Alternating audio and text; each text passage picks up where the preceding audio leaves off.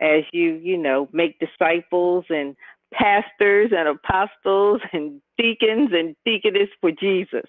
Praise God. and Praise God. And we, we thank God for you and for what you're doing and the great work at the uh, Living Water Living Water Ministries in Wilmington, Delaware, and keep on keeping on and, and give our greetings to our students there, Shamir and James and Loretta. We thank God for you. And I'll be talking with you later on in the week, Dr. Jean. Praise God. Okay. Okay, Bryce Baggett, how you doing, Bryce?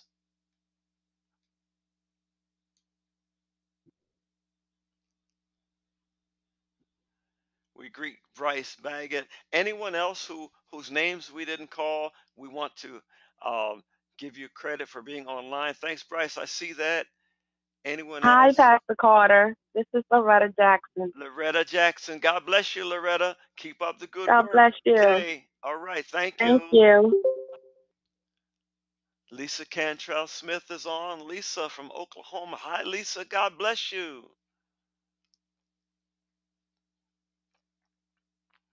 Praise God. Praise God. Elisa asks, Can I hold up the book again? Yes, this is the book I'm talking about. is called The Bible in One Year Study Workbook. The Bible in One Year Study Workbook. This is the book that is changing the course of Bible study worldwide. This is the book that they're now using in Jamaica and some other countries. And, and we, we have used this. Uh, Dr. Jean Bratton and Jackie and I have taught from this book um, over a two year period as we've taken people through the Bible in one year in two different year segments. People's lives have been changed, and we have some copies left. Uh, this is the book that we would normally be using in this course, but I wrote the current textbook that we're using, uh, Understanding the Bible, to make it comprehensive so that we could do this course in 12 weeks. But the book I'm holding up now, the Bible uh, in one year study workbook, is what we use for the complete week by week, 52 week course. Um, what we're using now in understanding the Bible is the textbook that I wrote uh, based on the Bible in one year study workbook so that we could complete this assignment in 12 weeks. Incidentally, um, I will send out to each of you tomorrow my website where all of the teachings that Jackie and Dr. Jean Bratton and I have done over the last two years, they are recorded on my WordPress uh, website. And so you can go and, and tap the archives and get these teachings, uh, everything from Genesis to Revelation, twice in two, a two year segment as Dr. Jean Bratton and Jackie and I have taught this course. This will help you and strengthen you in your Bible study presentation and even in your own comprehension of the books of the Bible. What we cannot get to you through this 12 week course we're taking now, Understanding the Bible, you can pick it up uh, through uh, my videos on my website, and I will send that out to each of you tomorrow. Praise God. All right. Have we gotten all the attendance taken, Jackie? Yes, sir. Yes, ma'am. Okay. Well, well, let's go. Let's get ready. Uh, hey, um, Jeep says she's so excited. Jeep, with your excitement, would you lead us in prayer tonight? I would love to. Praise God. Gracious Heavenly Father, we come together in your name and we worship you and we honor you with the joy and pleasure to come before you and bow and hear what you have to say through Pastor Carter. Father, we just ask that you would anoint Pastor Carter in our ears to receive all that you have for us. We thank you, Father, for, for this time with you and ask that your blessings be upon each and every one. And we thank you in Jesus' name. Amen. Amen. Amen. Praise God. Thank you, Jeep. Thank you, Jeep. and by the way, before we get started, Jeep, I want you to keep an eye out for a friend of mine. He's a li- he lifetime friend. He and I grew up together in Pennsylvania. His name is Jesse Morton. Jesse Morton is currently taking a one wagon wagon train from St. Louis to Colorado Springs, and he's he's got two mules that he's has pulling his wagon. And Jesse is a, a V- Vietnam vet, and he is traveling uh, from St. Louis to Denver, Colorado. He's heading for Colorado Springs to bring attention to the uh, affairs and the needs of veterans. So keep an eye out. He's coming in your area. If you get a chance, greet Jesse Morton. He and I grew up together in Coatesville, Pennsylvania. Uh, that's a great undertaking for a man who's 70 years old to drive a two man wagon, a two mule wagon train um, from St. Louis. He promised a buddy in a foxhole Jeep. He promised a buddy in a foxhole in Vietnam that if he outlived him, then he would uh, commemorate him and other veterans by taking the message from coast to coast about the soldiers who fought in Vietnam and the needs of veterans. So a few years ago, Jesse took that mule train from St. Louis to Washington D.C. Now he's going. He's in uh, uh, clearing. He's he should be clearing Missouri sometime today on en route to Denver and and Colorado Springs. And so uh, and then next year, he'll be going from Denver to the Pacific. So since you're out in Colorado, we hope you'll get a chance to greet him and encourage him. If not, pray for him. Praise God. Okay, that's a commercial for my friend. His name is Jesse Morton. Jesse Morton. And you can find his page on Facebook. Praise God. Thank you, Jeep, for leading us in prayer. Tonight, ladies and gentlemen, uh, we have the very difficult task. Thank you, Jackie, and all of you who are praying for uh, Jesse Morton. We have the task of covering Acts and the Pauline letters. Acts and the Pauline letters in uh, about 50 minutes. Wow. Um, I, I'm telling you right now, we'll do the best we can, but when you finish this, you'll have a good, you're, you're going to have a good commanding feel for the book of Acts. And I want to give you an overview of the other the Pauline letters, uh, Romans, First, and Second Corinthians, Galatians, Ephesians, Philippians, Colossians, First, and Second Thessalonians, First, and Second Timothy, uh, Philemon, and Hebrews. We're adding Hebrews. So where your textbook says nine letters, we're looking at not 10 letters. Hebrews, we're giving credit to Paul as the writer of Hebrews. The book of Acts, ladies and gentlemen, it ought to be uh, more attributed to the Holy Spirit. In fact, in some Bibles, the book is entitled The Acts of the Holy Spirit in the Lives of the Apostles. The Acts of the Holy Spirit in the lives of the Holy Spirit. In the lives of the acts of the Holy Spirit in the lives of the apostles. This book is awesome. We see the Holy Spirit moving in the lives of these apostles. And the key is, ladies and gentlemen, the key is the key is that they waited in Jerusalem as Jesus told them.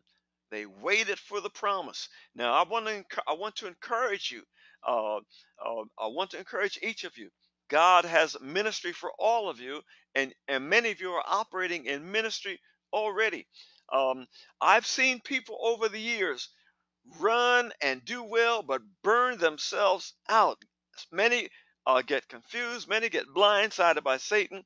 But I want to encourage you seek to be filled with the Holy Spirit. See, if you've already been baptized with the Holy Spirit, ask the Holy Spirit to fill you every day because you cannot be successful in serving the Lord without the Holy Spirit. I've seen so many people lose their their calling, lose their anointing, lose their positions because they they deny the Holy Spirit, they grieve the Holy Spirit, and they try to do things on their own. And so I'm one, I, I, I teach the baptism of the Holy Spirit every Sunday for the last three weeks. On Sunday mornings, we've been teaching about being filled with the Holy Spirit and what the blessings are. And the Lord wants us to have the power. The power. God has called some of you to great ministries. and you need the power, you need the guidance, you need the comfort of the Holy Spirit, the strength, so that He can come alongside of you and guide you into all truth. Ladies and gentlemen, the baptism of the Holy Spirit. Uh, I'm teaching on Sundays, last Sunday and, and next Sunday, teaching about uh, what happens after you're filled with the Holy Spirit so that people can know the comfort and the joy of being led by the Spirit so that you're not out there on a limb by yourself. You're not out there uh, all, all by yourself, but God wants you to work with Him and He will work with you. And Jesus gave us the example in Scripture. He told His disciples, Wait in Jerusalem. Jesus was saying, I know you're anxious to go into the whole world. Timothy, I know you're anxious to go to India. Matthew, I know you're anxious to meet the Ethiopian. And I know you're anxious to do this, but get the power. Get the power. Ladies and gentlemen, I encourage you, seek God, receive the baptism. And if I can help you, give me a call. I'll, I'll surely be glad to talk to you and, and share with you uh, what the Lord has revealed to me and just just encourage you uh, through prayer and um, um, what God is doing. Okay, so in looking at the book of Acts, we're looking at God using many people, but the, the book is divided into two two parts. Uh, chapters 1 through 12 is all about uh, the main character is Peter, Simon Peter. From uh, chapter 13 on through uh, the end of the book, the main character is the Apostle Paul. And so, uh, uh, chapter 12 it ends with Peter um, um, um, being in prison, and Peter was later. The, the the the break is that Peter is imprisoned, and so uh, he eventually is martyred in in Rome, and then the book of Acts ends with Paul uh, being in prison. We don't see his martyrdom. We don't see him being put to death. But Luke is the author of the book of Acts, and Luke is writing this as a companion to the Gospel of Luke. We see Luke writing to a man named Theophilus. Now, Theophilus has a couple of interpretations. Number one, the name may be uh, um, Luke's sponsor, the one who sponsored his writing, a real person by the name of Theophilus or he could have been a high ranking official who's going under a, a pseudonym, a false name, because he wants to conceal his identity. In those days, to identify yourself as a Christian meant certain death in certain areas. But then there's another interpretation that the name Theophilus means, if you break it down into its Greek um, prefix and suffix, theo, uh, philos, is lover of God, lover of God. Theophilus may have been Luke's pen name, pseudonym for the church, the lover of God, the church, the body of Christ. And so we see Luke writing this between 60 and 62 AD. The experts have kind of nailed this date down because uh, the book ends before the death of Paul. So we don't know anything about Paul's death. Uh, we have little information about his being set free from prison and then, then being rearrested. So Luke ends at a time um, when when uh, when when Paul is uh, in Rome, and later on we find he he goes to prison and he is martyred. His Paul's Paul's uh, head was chopped off. Nero, Emperor Nero, cut off, had the Axeman cut off Paul's head uh, in his his angry uh, uh, retaliation against the church. We know Nero came straight out of pit out of the pit of hell, and he did his best to kill and destroy the church. He put Peter to death. Peter was crucified upside down, and Paul was beheaded. But the things that accomplished, they accomplished in their lifetime. Ladies and gentlemen, I guess it really doesn't matter which way we leave this world, but we're going to leave in a blaze of glory because we've got the greater one in us. Greater is he in us than he that's in the world. Uh, we pray that all of us will have a long life and a peaceful life. But whichever way we leave here, as long as we hold on to Jesus Christ, uh, Paul said to be absent from the body is to be at home with the Lord. To be absent from the body is to be at home from the Lord. And uh, when I read um, the book of Acts and I get near the end, I start tearing up. I get tearing up. And when I read Second Timothy, ladies and gentlemen, Second Timothy, you're talking about a grown man crying when I read where Paul says, I've I've I've fought a good fight. I, I've finished my course. I have kept the faith. Man, you talking about a big baby getting ready to cry. That's me because Paul is one of my favorite characters. And uh, with scripture, I like to get in on the page. I want to be right there with the main character. I want to learn and see what they went through. So as you look at the book of Acts, it is exciting. We learn so much during uh, this book through this book. The book of Acts records the spread of Christianity from Jerusalem to Rome. It is also a sequel to the life of Jesus Christ that was recorded in the Gospels. Acts is the initiation of Jesus' great commission to take the gospel to all the nations. And so the central truth in this book is Jesus has given us power to witness everywhere. Ladies and gentlemen, Jesus has given us power to witness everywhere. And when he told his disciples, Ye shall be uh, disciples for me, uh, into go into Jerusalem and uh, Samaria and to uh, Judea, all the uttermost parts of the world. He not only spoke to his disciples, but he spoke to us that we're, that we're to take this gospel. I was watching TBN the other day and looking at TBN network now has uh, uh, programs being aired in Arabic countries, and God has uh, pastors in Arabic countries who are airing uh, TBN. So, the gospel, ladies and gentlemen, God loves the world so much that the gospel is going into all the world. And you're part of this army. You're part of this end time army. My prayer for the Paul Begley School of Prophet, Prophecy is this Lord God, in the name of Jesus, raise up an army of prophets. Raise up an army of prophets. Whether or not you're called to the office of prophecy, uh, just uh, raise up an army. Men, women, boys, and girls, old and young, who will hear from God and speak what God gives to them. And this uh, end time ministry is so important. Praise God.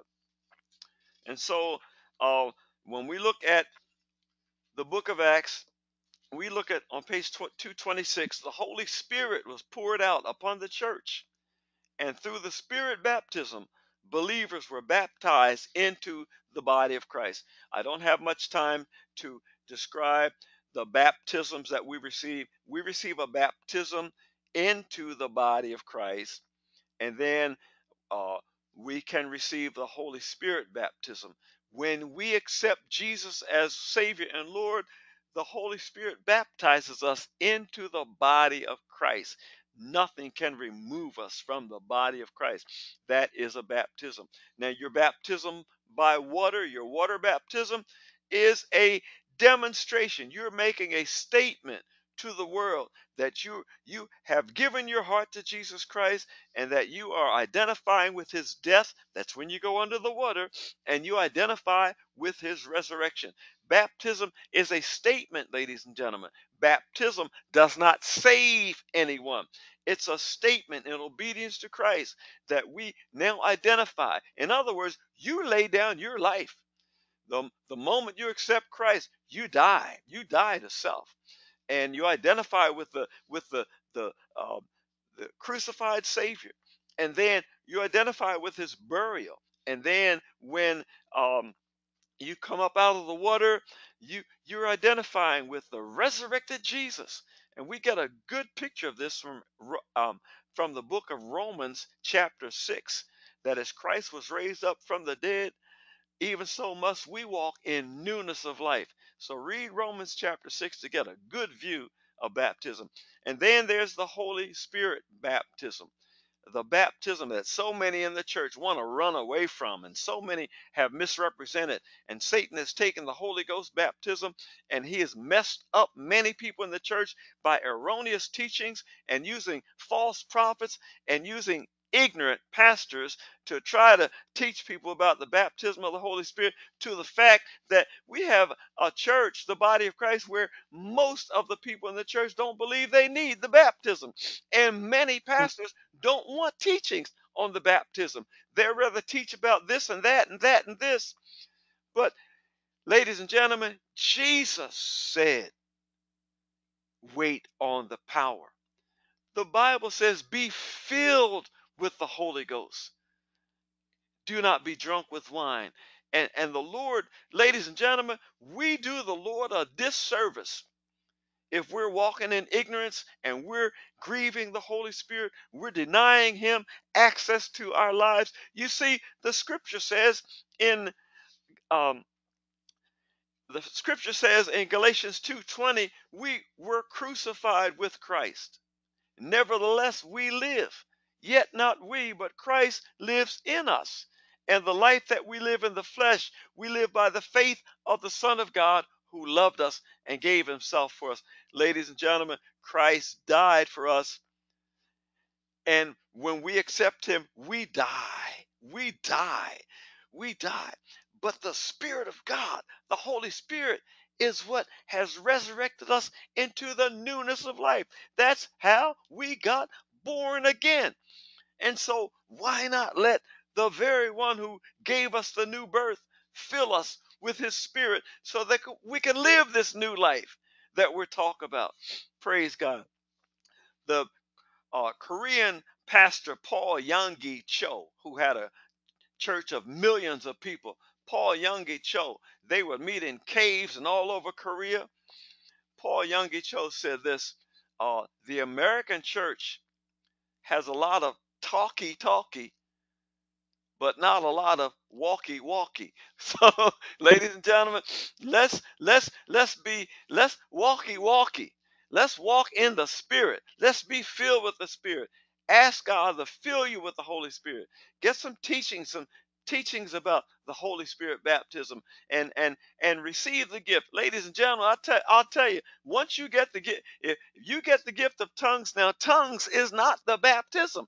Tongues is just one aspect of the Holy Spirit baptism. Ladies and gentlemen, the gift of prophecy, you can lay hands on the sick. You go in the hospital and lay hands on the sick and people recover. Uh, you get the the, the anointing to help uh, govern the church, to govern people, uh, the gift of helps. Ladies and gentlemen, they are spirit filled people. They don't speak in tongues, but they can sure enough walk into your house and get you healed if you're sick. Ladies and gentlemen, so let's stop grieving the Holy Spirit and, and walking in ignorance and, and denying the Holy Spirit that which He purposes to do. Jesus wants us filled. And ladies and gentlemen, I'll be the first one to repent. Repent. I repent for walking in pride, saying, I got this. I can handle this. So many pastors are saying, I got this. I can handle this. Well, Pastor Carter said, I don't have this. I can't handle it. I need help. Holy Spirit, help me. And every day I'm praying for a new filling. Every day the what we're doing, what Jackie and I are doing, what Pastor Paul and Sister Heidi are doing, and what you're doing, you're not doing this on your own. It is not some special gift or charisma you have. We do this by Christ in us, the hope of glory, the Holy Spirit, and we give him all the praise and the glory. And that's what the book of Acts is all about. It's about praise and glory. When Peter stood up and preached after the day of on the day of Pentecost, 3,000 people got uh, saved, and they were amazed that people speaking in unknown languages all over Jerusalem, and later on, uh, people receiving the gift of tongues and, and being able to speak in languages that they didn't know, but they I, have seen missionaries go to Africa speaking in tongues and and not knowing what they were saying, speaking in an unknown language by faith, and people running to the altar uh, saying, You're speaking our language, you're speaking my dialect, that's my native tongue. Ladies and gentlemen, the baptism of the Holy Ghost is the power that God has made available to the, the church to get the job accomplished. So don't try to do it all by yourself. Don't try to be like the Lone Ranger. That music sounds good, but we can't do this on our own. We need help. We need help. So praise God. Uh, on the day of Pentecost, ladies and gentlemen, listen to this, page 227. The Holy Spirit chose a new temple to dwell in. This new temple was the body of every believer. And in the paragraphs above this, we talk about how the the uh, cloud covered the tabernacle, and God would come into the tabernacle and dwell. And that later, when Solomon built the temple, the glory cloud would cover the temple, and God would meet the people at the mercy seat. Well, ladies and gentlemen, now there is no uh, tabernacle, there is no temple. Ladies and gentlemen, God's glory cloud wants to come up. Come on. Oh, glory to God. God's glory cloud wants to come upon you. You are the temple of the Holy Ghost. The scripture says, Know ye not ye are the temple of the Holy Ghost, whose you are? Ladies and gentlemen, do not deny Jesus Christ the opportunity to baptize you in the Holy Ghost. Do not deny uh, the world the opportunity to get saved through your ministry when you get filled with the Holy Spirit. Ladies and gentlemen, you may say, but I don't, I can't see myself doing this. I don't know how I'm going to get the job done. Well, you can't get it done. You cannot get it done.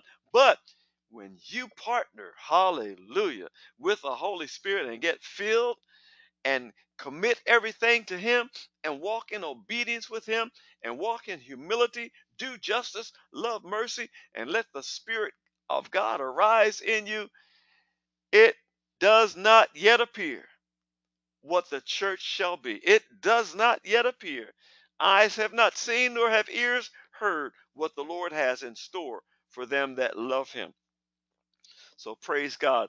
That's a Holy Ghost commercial, ladies and gentlemen, a commercial for the baptism of the Holy Spirit. We need the baptism. And so the Holy Spirit is looking for new temples to dwell in. He dwells in every believer. Every believer, ladies and gentlemen, has the Holy Spirit. Now, just as you see on your screen, Paul Begley lifting up his cup to take a sip of coffee and getting ready to say, Are you serious? Well, this cup has some coffee in it. Okay? Uh, in your temple, in your body, you've got the Holy Spirit in you. And I'm sure that when Pastor Pastor's cup is empty, he'll ask Sister Heidi, fill my cup. Or he'll pour some coffee in his cup. Fill it, fill it. And ladies and gentlemen, as as as you drink it, as you as you go about ministry and and you lose your power, uh, get filled again. Every day we can be filled with the Holy Spirit. Well, can you prove that to me, Pastor, by Scripture? Yes. When you look at chapter 2 of Acts, chapter 3 of Acts, and looking at other uh, uh, chapters in, in, in Acts, you'll see the, the disciples, the apostles, going up to people and they're being persecuted they're arrested, they're beaten, and then they uh, Peter and James were miraculous, miraculously uh, uh, delivered from prison, and uh, the church, when they began rejoicing, God filled them again. Every time the apostles were beaten down, God would fill them with more power. That's the work of the Holy Spirit, and the Lord will do the same in your life. Well, praise God. I didn't intend to teach this book tonight this way, but that's the way we went. Okay? And so we see in in the book of Acts, uh, the first 12 chapters, your principal personality is Peter. After that, for the rest of the book, the principal personality is Paul, Saul of Tarsus a man who hated the church. He persecuted the church. He put folks in prison. Many of them that he put in prison were executed. They died. But God can use a thug. God can change anybody who's willing. And God met Paul on the on the road to Damascus. The Lord met him uh, in Acts chapter 9. and changed his life. But before that, we see the gospel going into Africa, ladies and gentlemen. The gospel went into Africa by way of the Ethiopian eunuch. Praise God. Acts chapter 8, where Philip met the Ethiopian. The Holy Spirit told Philip, I want you to leave this ministry and go towards Gaza. So there are times when God may redirect your ministry, ladies and gentlemen. So people will criticize you. They have their advice and their counsel, but obey the Holy Spirit. Walk in obedience. God told, uh, the Holy Spirit told Philip, leave Samaria and go uh, towards Gaza. And Philip obeyed and an Ethiopian. The Ethiopian means burnt skin, black, dark skin. He was a black man from Ethiopia. He was a treasure of the nation of Ethiopia. And this man was sitting in his chariot reading uh, from the scroll of Isaiah. You'll say, well, what's he doing?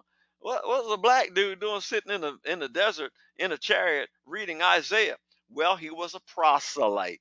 He was one whom the Jews had converted to Judaism out of Ethiopia, and he came to the Passover every year to celebrate the Passover. He just happened to be in Jerusalem at the time they crucified Christ. And Philip met this man on the road, and the man was sitting in his chariot going back to Ethiopia. And um, Philip walked up to him and said, Do you understand what you're reading? The man said, No, I need someone to teach me. And ladies and gentlemen, we've got people all over this nation and all over the world who need someone to teach them about the contents of the Bible. And and and many of us are called to help in that area. And when Philip uh, preached to the man, uh, the man received Jesus, and then he said, "I want to be baptized." But there's no water in this desert. And God miraculously uh, created water so that the, the man could be water baptized. Next thing we know, according to the scripture, Philip was caught up in the air by the Holy Spirit and he flew to a place called Azotus. Now, ladies and gentlemen, there were no Ethiopian Airlines or no uh, uh, uh, uh El Al or no uh, uh, Jerusalem Airlines. There were no planes, but the Holy Ghost picked him up and flew him to a place called Azotus. Next thing we know about Philip uh, is about five, he had five daughters. Five daughters. They don't mention his wife in the scripture, but Philip had five da- daughters, and they were all prophets. Ladies and gentlemen, that we should give a kudos shout out to women in the scripture. Women in the scripture. Ladies and gentlemen, God uses women mightily. Hallelujah. And he still does. Philip Philip's five daughters were prophets. Hallelujah. So then we see Paul. Paul gets converted, ladies and gentlemen. We're talking about converted. He didn't join, ladies and gentlemen. Nowhere in the ninth chapter of, of Acts do we see Paul joining the church. Nowhere in the book of Acts do we see these apostles asking people to join the church. Ladies and gentlemen, we have a nation of people who have joined the church as though the church is a club. They give them a box of offering envelopes. They give them a, a website now where you can pay your dues by PayPal or online. But, ladies and gentlemen, this church that we preach about in the Bible, you cannot join it. You must be birthed into it. You must be born again. Jesus told Nicodemus, Truly, truly, I say unto you, unless you are born again, you cannot even see the kingdom of God.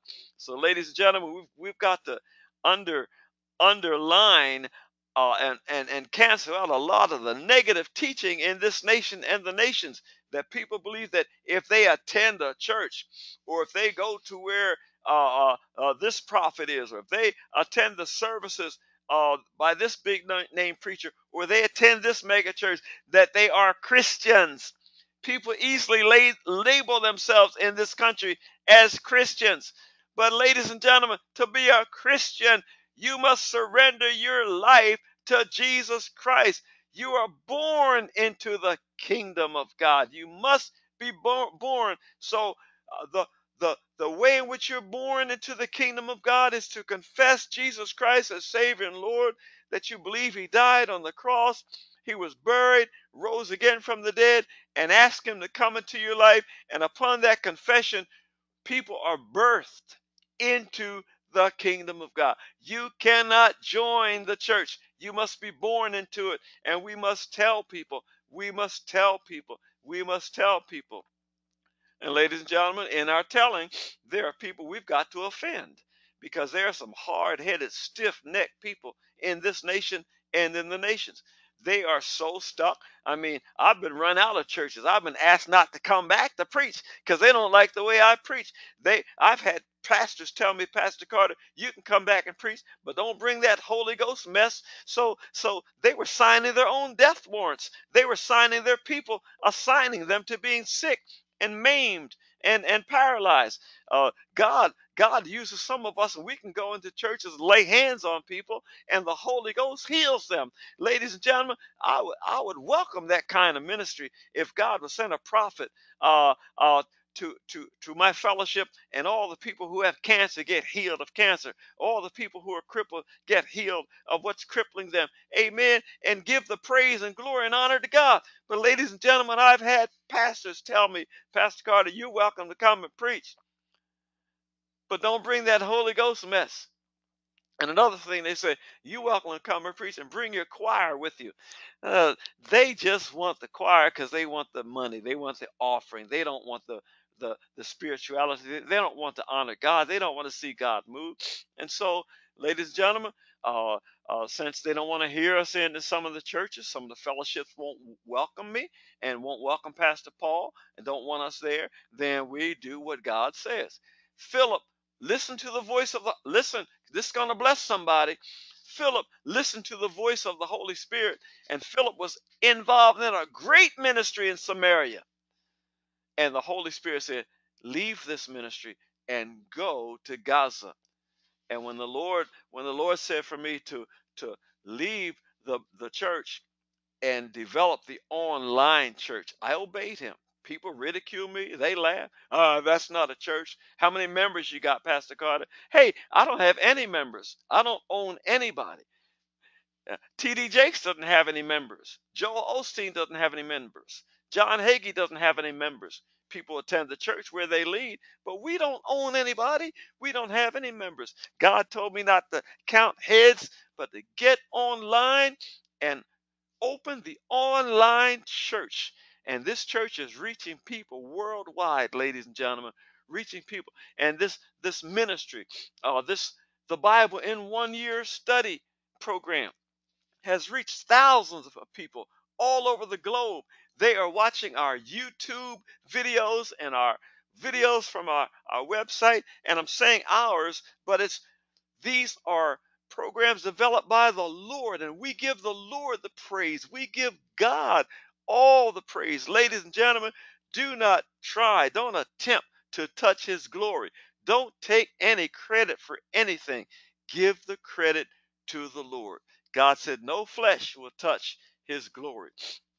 And so we see as the, the apostles went through doing what they did, we see death. Many of them had to face death. They confronted death.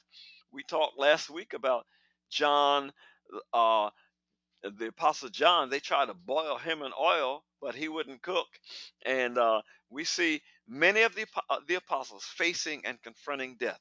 Thomas was killed in India, and Matthew was killed in Ethiopia, and Peter uh, met an, uh, a horrible death, and and and they say all that the experts say that all of the apostles suffered a horrible death except for John.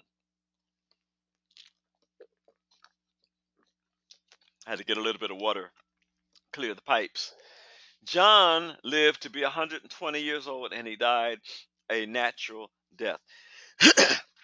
Okay, so let's flip through Romans.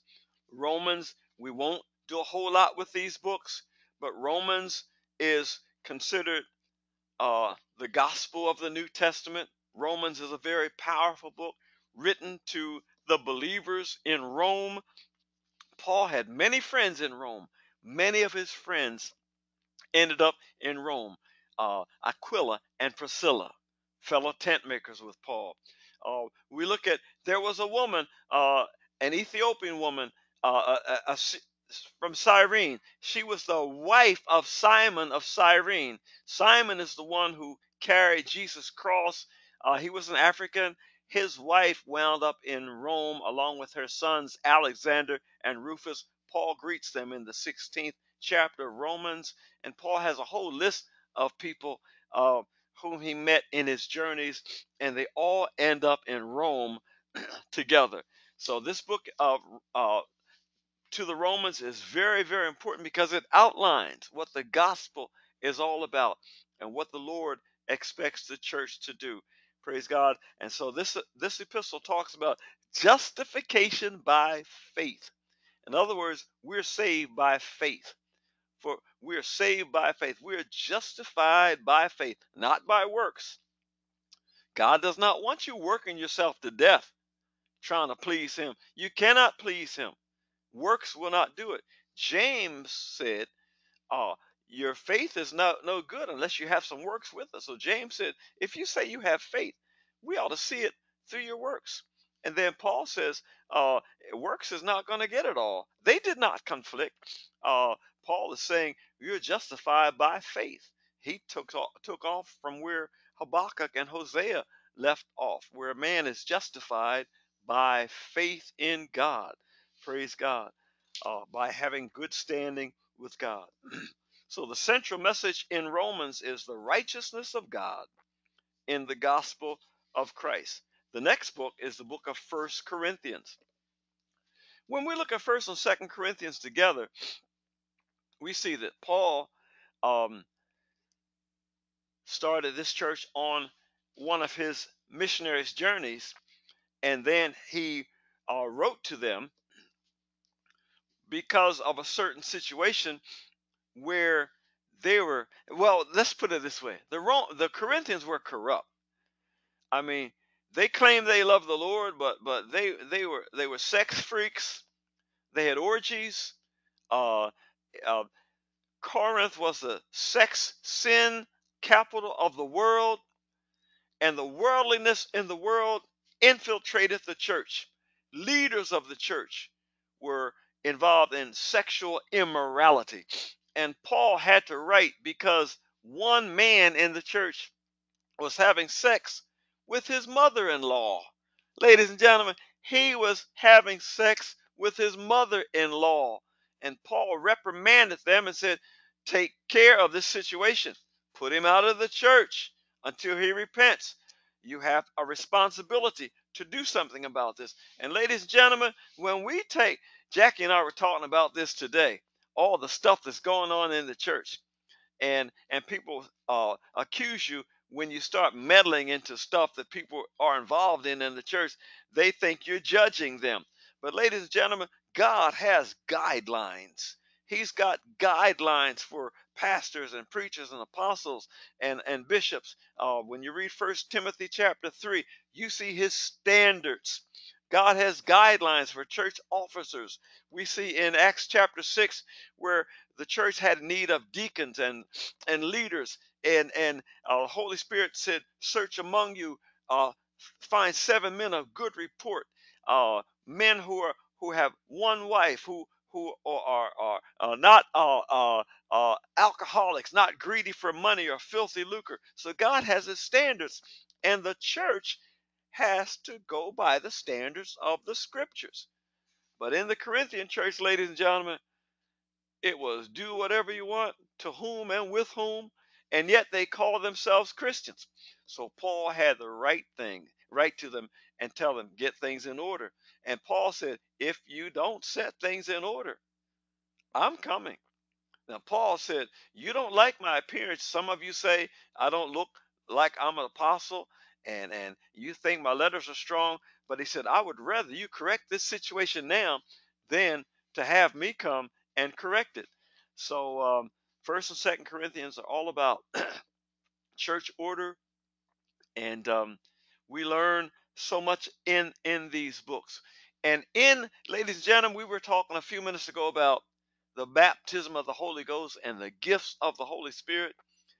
Ladies and gentlemen, if we would read 1 Corinthians 12, 13, and 14 and study those chapters, there will be less violation of the gifts of the Spirit, and there'll be a greater understanding and a greater appreciation for the Holy Ghost baptism. But a lot of preachers don't want to read this and they don't want to teach it.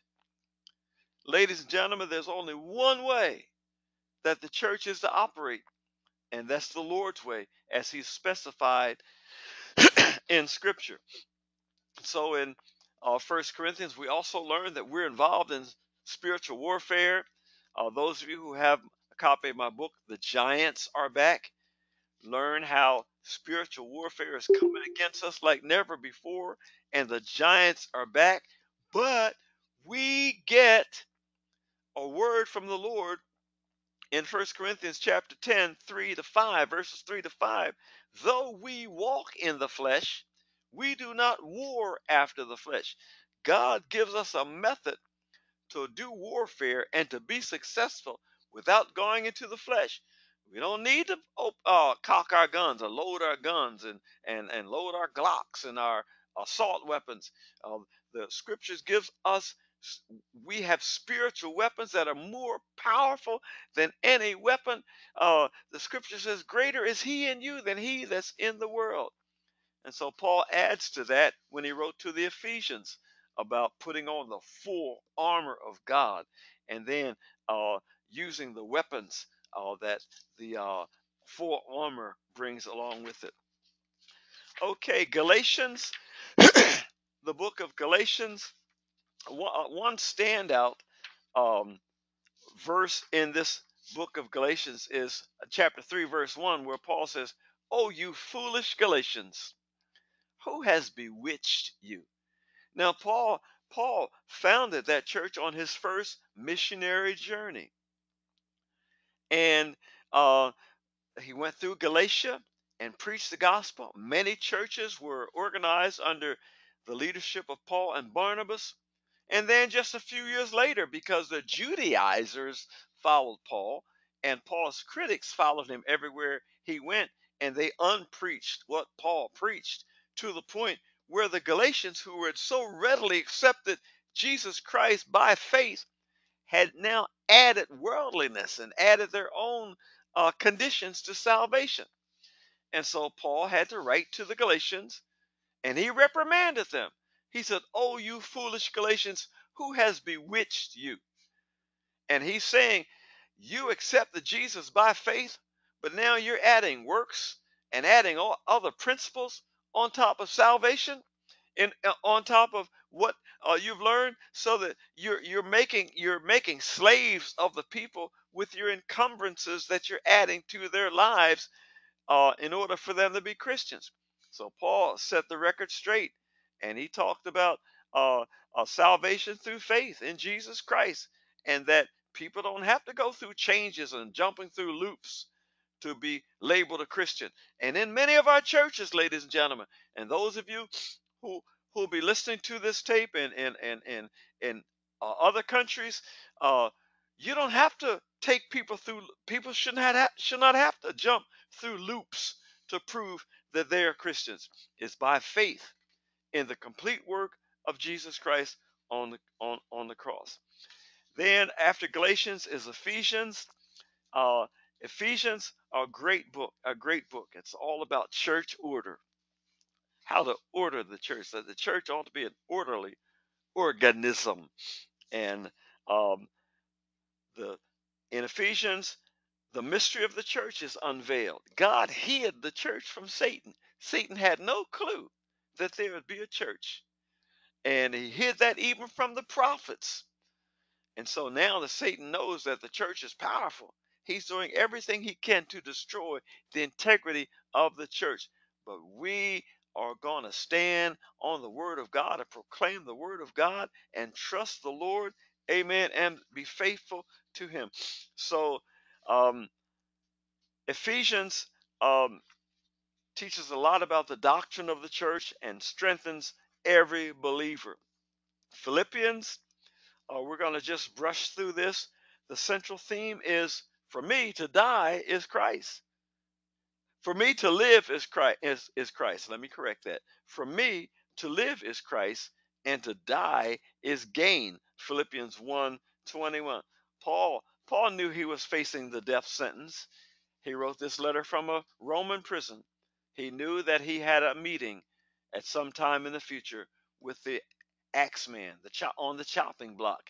But Paul said, To me, to live is Christ, and to die is gain. Paul said, Hey, I'm in a win win situation. if I live, I continue to promote Jesus Christ. If I die, if I get killed, they execute me. Uh, to be absent from the body is to be at home with the Lord. And praise God, what a what a what a way to look at look at this new life in Christ. Uh, if we live as we live, we can continue to proclaim Jesus Christ so that others can get this life. And if we die, then uh, the moment we die, boom, we're in glory. We're walking down the celestial streets of heaven. Praise God. Praise God. So uh, after Philippians, we're looking at Colossians. And the main thing about the book of Colossians is that Jesus Christ has preeminence over everything. There's no God above him. There's nobody who can replace him. Jesus Christ is Lord. He died on the cross. He was buried in the grave. He rose again from the dead and he sits on the right hand of the throne of God and he's coming back soon. And everything we do, say, or think ought to be focused on Jesus Christ, whom God sent because he loved the world so much. So, ladies and gentlemen, do not make idols out of people. Don't allow anyone to be an idol in your life, or don't let anything, anything be an idol in your life. Jesus Christ is preeminent. He is Lord of Lords, King of Kings. Let us keep our focus on Him. Then we look at First and Second Thessalonians. Uh, First Thess- Thessalonians, we got to kind of spit that out. Put that tongue under your upper teeth and and blow it out. Thessalonians. First, I, I remember years ago hearing people say Thessalonians with an F. It is not Thessalonians, it's Thessalonians. Well, let me move on. First Thessalonians is all about Paul responding to a question that the people of, Thessalonica had. They were concerned because the Lord was delaying his second coming. And they were saying, well, what is going to happen uh, if Jesus tarries? What's going to happen to those who died ahead of us who love the Lord? And so Paul attends to that question about the dead in Christ. And in that fourth chapter of First Thessalonians, we see uh, the great teaching that uh, when uh, when the trumpet sounds, Jesus shall stand in the clouds with a shout. Amen. He's going to make some noise, ladies and gentlemen. He's going to stand in the clouds. He's going to shout. He might say, "Church, come home." And and the scripture says, "The dead in Christ shall rise first." Praise God. They're going to rise first. All who died in Christ. Not everybody who listen to me now. Not everybody who died as a churchgoer, because every churchgoer ain't going to get saved. Now, that's not judgmental. That's preaching the gospel. You must be born again. You might go to church, but if you have not committed your life to Jesus Christ and received Him as Savior, please do so now so that you get the guarantee of your life insurance policy that you'll live again. But the dead in Christ shall rise. And then the scripture says, and those of us who remain shall be caught up with them in the clouds. So the believers who are alive at the time Jesus cracks the clouds, the scripture says, after the dead in Christ rise up, and, as they rise, they're rising in their resurrected bodies, ladies and gentlemen, from the place of their burial or their demise. They're rising in their resurrected, glorified body, the body Christ prepares for them to be able to uh, uh, endure eternity and love eternity eternally in heaven. And then the Bible says, those of us who are alive, we'll be caught up with them in the moment, in the twinkling of an eye, we shall be changed. Ladies and gentlemen, we're going to, uh, if Jesus comes while we're still alive, we're going to transition in midair. Ladies and gentlemen, we will be translated like Enoch and like Elijah. We'll be translated. We will go, boom, from this physical body, boom, to a spiritual body. Oh, and, and it'll be a real live body, but it will be a body that can live eternally in the presence of the Lord. Oh, mm, mm. I could preach on this, but I'm not going to. See, this body we're living in right now, we, this body can't stand all the glory of heaven. This body, this shell that I'm living in, cannot stand the glory of heaven. The light of heaven, the glory of heaven will blow this, this body to smithereens. But God has a new body. I got a home up in that kingdom. Ain't that good news? Ain't that good news? I got a home up in that kingdom. Ain't that news? Ain't that good news? I got a house. Uh, eternal in the heavens, not made by hand. Glory to God. And so do you. Amen. That's good news. That's good news. Amen. And God has a a, a mansion, a body, a home prepared for each of us, an eternal, glorious body. No more, mm, no more sickness, no more acne, no more tooth decay, no more crippling, no more cancer, no more this, no. I mean, it's going to be an eternal body, a glorious body. Amen. Uh, that we're we're we're just fellowship and worship God and honor God and and and and and our bodies will be the temples of God to glorify God in heaven. Mm, mm, mm. Man, oh man, you talking about something good? You talking about something good? Well, uh, just a couple more books in um, the New Testament. We're running out of time. Oh man, First and Second Timothy. I need a whole hour to talk about Timothy. Uh, Paul's friend, Paul's trusted friend in the ministry. Just a young guy. He reminds me so much of uh, Matt Borland. I know I let, put Matt out there quite often, and I don't want to set you up, Matt, but uh, Matt Borland, to me, Matt Borland, uh, man, if I could choose, if I could just choose somebody to to be my apprentice, but I'm not going to do that, Matt. Uh, I just I just love you, man. I love your spirit. I love your your your love for the Lord and your cooperation. You Matt may say, "Oh man, he don't know me that well. I'm all messed up." Man, Matt, you don't know me that well, man. You don't know where I came from, but I know God took me and made something beautiful out of my life, and He's doing the same for you. But I love you, Matt, because you're teachable. Now, I don't usually sound off on a, a particular individual like this because uh, there's so many of you others who, uh, like Bryce Baggett, man, Bryce Bryce Baggett, man, God's got a great calling on you. But I and I love you all. I pray for you so much, all of you, because God's got a great work for you. Amen. Well, Paul loved Timothy the same way, and uh, Paul encouraged that young man, and then uh, in that uh, second chapter uh, in, in the book of second timothy paul lets timothy know hey timothy all this training i gave you a crash course. I gave you a crash course in in all i know about jesus and uh, I'm, I'm getting ready to be executed man. And he writes to timothy and says come before winter. And paul is saying hey brother if you don't get there before winter it's like if matt says hey Pastor, come to Erie, Pennsylvania, but come before October. Or if you don't get there by October, you probably have to wait till May or June. I know what you're saying, Matt. Okay? 200, 200 inches of snow, he says. But Paul is saying to Timothy, come before winter. There be no ships coming to Rome in the winter. And and I know Paul is saying, I know I won't be here next spring. I know I won't be here when the flowers pop up again. So please, Timothy, come and see me. Bring my cloak, bring my coat, bring my books, bring my parchments. I, I need to, to write some more letters. Bring my books, and and and and and then, oh man, this just touches my heart, ladies and gentlemen. When he says, and bring John Mark with you, ladies and gentlemen that just lets me know about the reconciling love of Jesus Christ and the fact that everybody in the church we ought to be able to get along ought to be no grudges no no hostility no bitterness no resentment. Mark left the first missionary journey. He left paul and barnabas holding the bag. And and Paul was angry with him for a long time, but Paul forgave him. And then uh, as Mark realized he had done wrong and Mark grew, and you know every one of us has to grow, ladies and gentlemen. We must mature. That's why we need the Holy Ghost. Mark matured. And Paul said in his closing letter to uh, Timothy, he says, and bring Mark with you.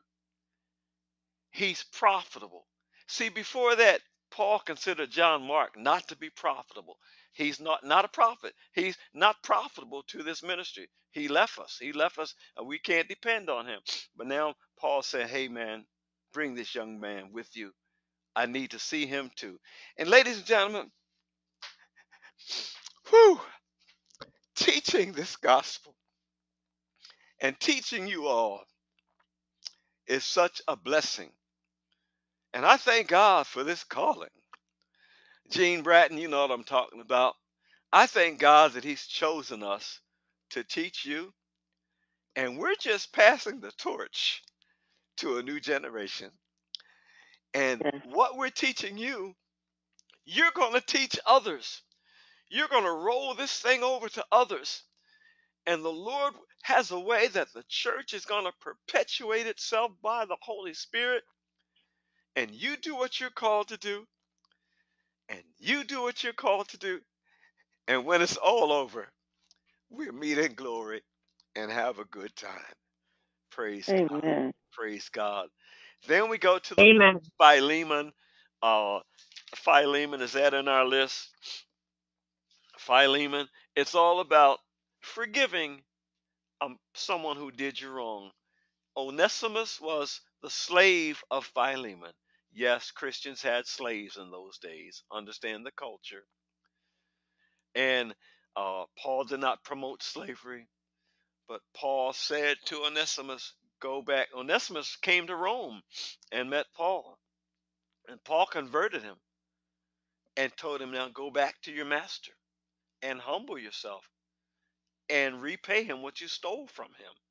And Paul gave him, you know, a lot of I, I know a lot of a lot of black people, they hate this book of Philemon. I don't hate it because I know slavery has had its its place in this nation. We would not be a great nation today if we had not dealt with slavery and if we've not learned how to overcome our differences through the love of Jesus Christ. So I do not negate our history, but I look at Paul looking at Onesimus and saying, You're a runaway slave. I cannot condone your running away. I cannot condone the fact that you stole money from your master. And now that you're a born again believer, I want you to go back to your master. Humble yourself, tell him I've wronged you, and work off what you owe him. Now, Paul did not condone slavery, but Paul met the man in his condition and said, You owe Philemon what you stole from him, and you're still under contract with him.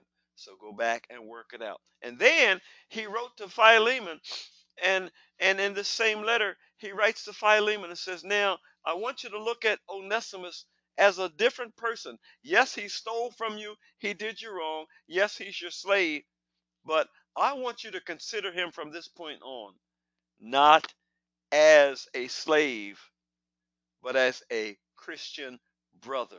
There's a big difference, ladies and gentlemen.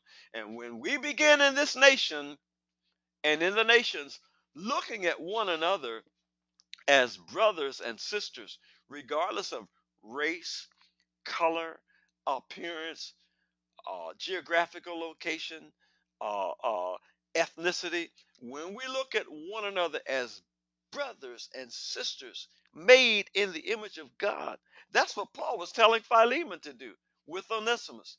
What a great and marvelous church this would be.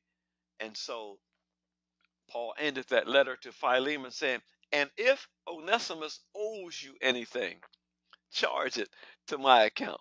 Okay? Uh, hit me up on my PayPal account. Just deduct whatever he owes you. I mean, Paul was cool. Paul, because Paul had favor with Onesimus. And Paul had favor with Philemon. If he owes you anything, You charge it to my account. account. I'll pay it off. Now, Paul's writing this from prison. He's about to die. But he says, even though I'm about to die, I'll pay off what this brother owes you. Ladies and gentlemen, this is a, an exciting book. And Hebrews, uh, Titus, Hebrews, we don't have time for Hebrews. Um, we have to get to that. Titus and Hebrews. Uh, Titus is the man that Paul placed in uh, the leadership of the church on the Isle of Crete. That's where Barnabas was from, the Isle of Crete. And uh, Titus became the pastor there, and Paul gave him instructions. Ladies and gentlemen, pastors ought to read the book of Titus to get the what the qualifications for a leader is all are all about, and and and uh, what God requires. And then um, Hebrews, I, I think I did Titus and Philemon out of place, but Hebrews is all about a letter, we believe, written by Paul to the Jewish Christians, the Hebrew Christians who are scattered all over the world. This letter was to be read to them because the persecution that hit not only the Christians, but hit the Jews in the 60s AD. And we see this in the year 70 AD. Jerusalem fell, and Jews were persecuted all over the world, so much so that from 70 AD until 1948, the Jews had no homeland. Everywhere in the world, they were killed, slaughtered, and put to death. And so Paul writes to the Jews who had left the sanctuary of Judaism to follow Jesus Christ, knowing that they would be persecuted and were being persecuted. Paul writes to them and says, I know you're being persecuted, and I know there's such pressure on you, even by your own Jewish people who hate you because you embrace Christ Jesus.